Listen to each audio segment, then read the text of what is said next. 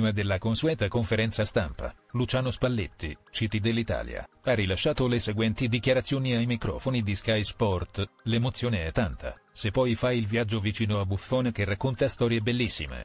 Le abbiamo assorbite. Dovremo essere simili a quelli del 2006. Il gol di Zaccagni è arrivato perché fino all'ultimo secondo siamo stati dentro la partita, con ordine e sacrificio. Bastoni è da valutare bene, ha fatto l'allenamento e questo ci ha fatto tirare un sospiro di sollievo. Di Marco non è recuperabile, non ci sarà. Difesa a 4? Giocheremo con qualcosa che assomiglia alla difesa a 4. Fagioli giocherà? È un discorso facile da fare. Se ai giovani che spingono serve creare lo spazio che meritano, con la sua naturalezza è adattissimo al suo ruolo. Svizzera? Hanno un blocco squadre molto unito, è difficile trovarli lunghi tra i reparti valutano sempre che topo di palla stiamo gestendo. Sicuramente possiamo andargli dietro la linea?